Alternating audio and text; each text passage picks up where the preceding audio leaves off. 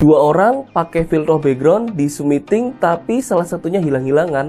Gimana ya supaya dua orang atau lebih tidak hilang-hilangan ketika pakai filter background di Zoom meeting? Nah, begini caranya. Halo guys, begini loh cara supaya dua orang atau lebih tidak hilang-hilangan ketika menggunakan fitur background di Zoom meeting.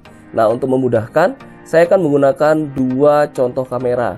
Yang pertama yang sudah tidak hilang-hilangan, yang satu masih hilang-hilangan.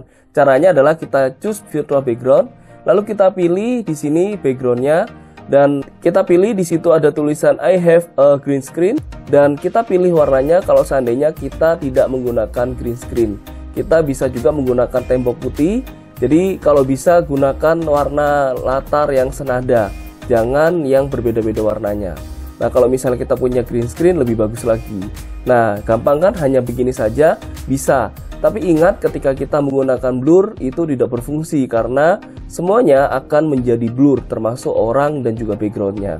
Jadi kita dengan cara demikian sangat memudahkan kan kita tidak perlu lagi kita rekaman kita cukup bisa pakai zoom meeting dan kita bisa tampilkan langsung kita tinggal pilih cara yang demikian ya Nah, semoga tutorial saya ini dapat membantu teman-teman dan dapat lebih lagi meningkatkan produktivitas teman-teman semua. Sampai ketemu lagi di pembahasan selanjutnya.